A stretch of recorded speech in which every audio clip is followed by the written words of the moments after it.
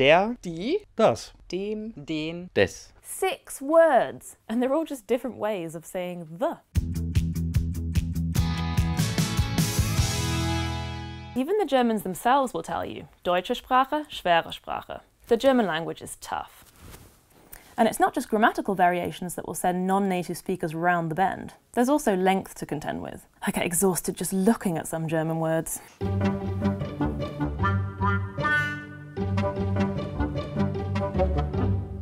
Schaufensterscheibe. Geschwindigkeitsbegrenzung.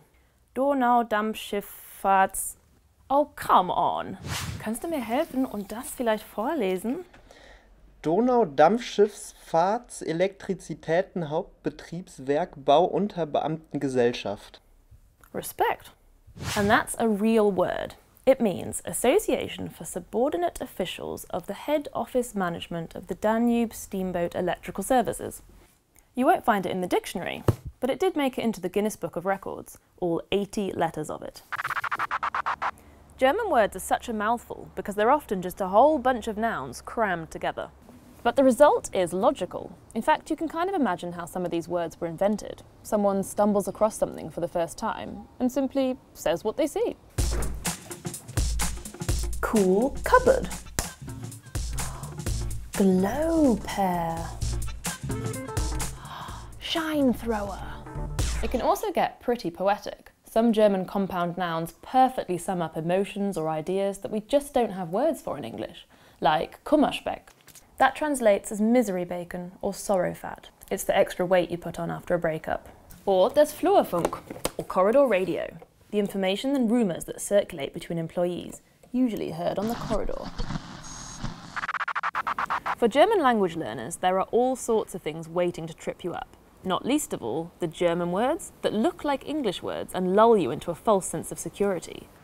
The false friends. To wink is actually to wave, and to become is to receive.